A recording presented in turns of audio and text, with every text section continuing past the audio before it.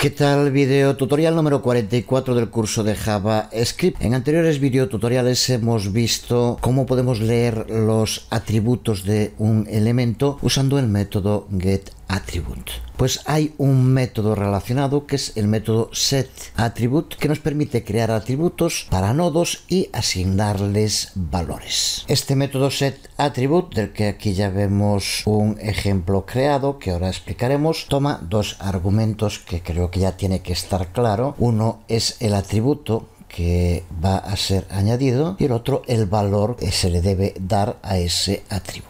Las posibilidades son enormes y muy variadas. En este ejemplo puedes ver como aquí tenemos creada una regla de estilo, una clase a la que hemos llamado demo class. Desde luego ya sabes que se puede añadir una clase como atributo dentro de un elemento HTML y es lo que hacemos aquí. En el cuerpo añadimos una cabecera H1 con un texto y un párrafo donde se explica lo que hay que hacer y un botón sobre el que hay que pulsar muy similar a otros que ya hemos creado. Cuando se pulsa en el botón se ejecuta mi función, que es lo que podemos ver aquí. Esta primera parte ya la conocemos, document get para que acceda a la cabecera H1, el index 0, con lo cual accede a hola mundo. Y utilizamos set attribute para configurar su atributo class a el valor de demo class, con lo cual se le aplica esta clase. Eso significa que cuando pulsemos sobre el botón Hola Mundo pasará a ser de color rojo, que es la propiedad que incluye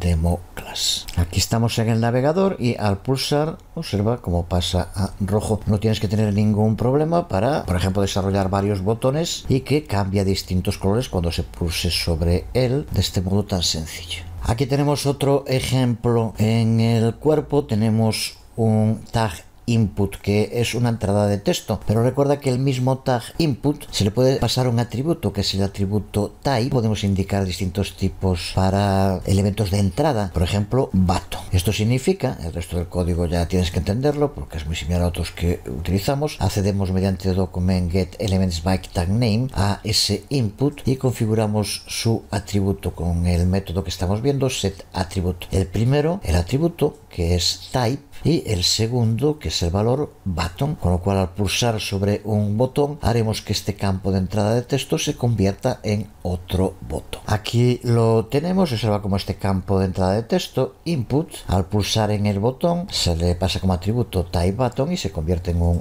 botón, ahí lo tenemos. Como aquí indica también Internet Explorer 8 y anteriores no admiten el uso de este método set attribute. Y un tercer ejemplo muy similar, pero que una vez más puede tener unas utilidades muy interesantes. Vamos a convertir un texto que en, un principio aparece solo como texto en un enlace. Como vemos lo tenemos dentro del el tag A, un ancla, un ancho. Pero de momento, tal como está, aparece simplemente como un texto. Lo que hacemos aquí, mediante el uso de set attribute es configurar su atributo href a un enlace, con lo cual ahora cuando pulsemos sobre el botón convertimos este campo con un texto en un enlace de modo automático. De nuevo, pues podrías poner distintos botones que hicieran que el enlace que se cargue fuera distinto, por ejemplo. Aquí lo tenemos de nuevo en el navegador y observa como aquí simplemente aparece un texto, pero ahora al pulsar en el botón se convierte en un enlace totalmente funcional. Si pulsamos lleva a la página que indiquemos. Como podemos ver.